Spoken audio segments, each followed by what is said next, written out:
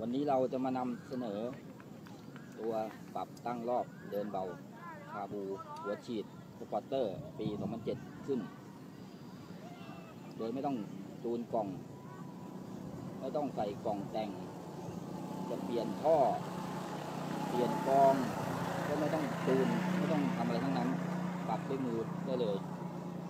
เดี๋ยวมาดูกัน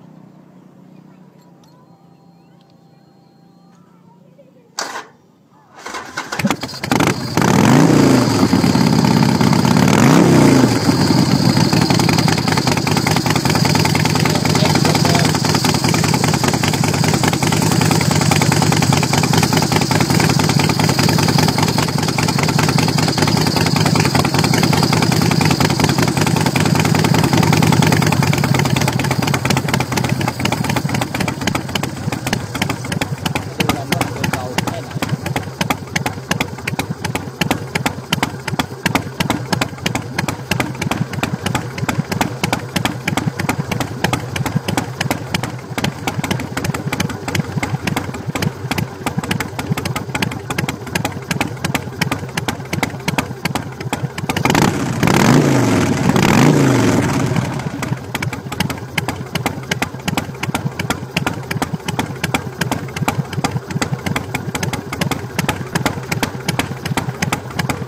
เปลี่ยนท่อเปลี่ยน กอง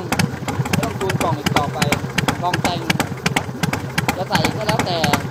ไม่ได้ไม่ใส่ก็ได้ เพราะมันไม่ต้องใช้อยู่แล้ว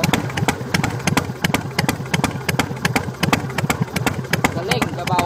ดูด้วยมือตัวเองเลยต้องมาดูกันว่าเบาสุดแค่ไหน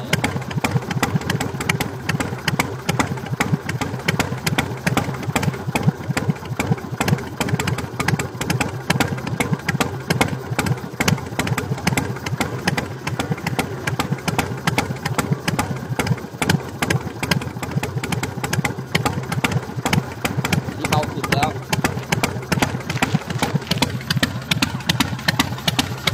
เรามาดูกัน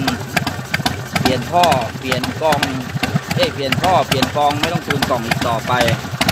จะใส่ท่อกี่ใบใส่กองกี่ลูกก็ไม่ต้องจูนนี่เดินเบานะครับ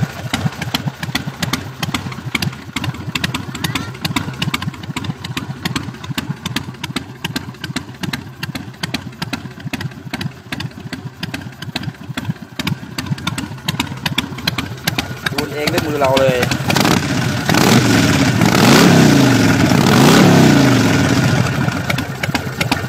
ปกติ คันนี้ใช้มาแล้วสองปีกว่า